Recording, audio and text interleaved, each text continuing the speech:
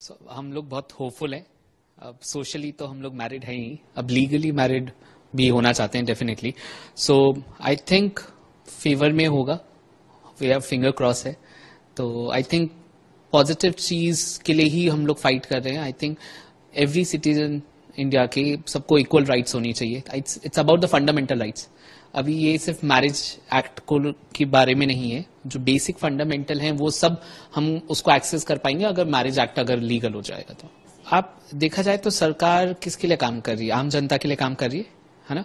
और हम लोग की शादी के बाद अगर देखा जाए कि आम जनता ने कैसे रिएक्ट किया, वो बहुत पॉजिटिव था। अगर हम लोग की शादी की बात करें तो हमारी शादी में सब लोग थे रिलेटिव भी थे नेबर्स भी थे मेरे ऑफ़िस के कलीग्स भी थे।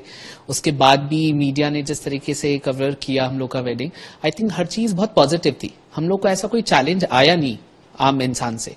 सो so, ये आप देखा जाए तो अगर सरकार अगर किसी के लिए काम करी आम जनता के लिए तो आम जनता तो रेडी है।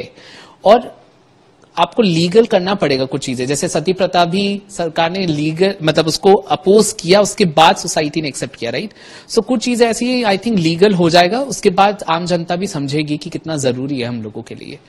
बिल्कुल नहीं। अब हम लोग की शादी के बाद तो मतलब आई थिंक लोग ज़्यादा हम लोगों को आ, मिलते हैं हम लोग ज़्यादा डिनर पे जाते हैं हम लोगों के घर पे लोग आते हैं। आई थिंक इवन हम मॉल में भी जाते हैं। जब यहाँ कैलकाटा में मॉल में भी जाते हैं तो लोग पर्सनली हमसे मिलने आते हैं और कहते हैं हम बहुत खुश हैं आपके डिसीज़न से।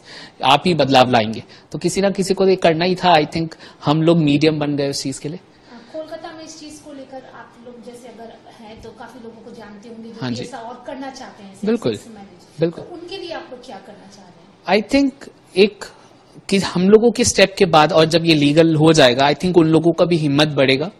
और आई थिंक वो भी खुल के अपनी फैमिली को अपने नेबर्स को अपने फ्रेंड्स को बता पाएँगे अपने आसपास लोगों को अबाउट उनकी ओरिएंटेशन के बारे में। एंड आई थिंक जब लॉ पास हो जाएगा तो फैमिली भी एक्सेप्ट कर ही लेगी कि उनका बच्चा खुशी खुशी समाज में जी सकता है और उसको सारी राइट्स मिलेंगे।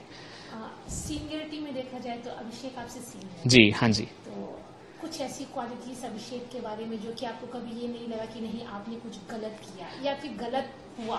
दोनों ही चीज़ें मैं आपको बोलूँ कि मतलब अभिषेक की मेच्योरिटी मैं एक इंसान में मेच्योरिटी देखता हूँ।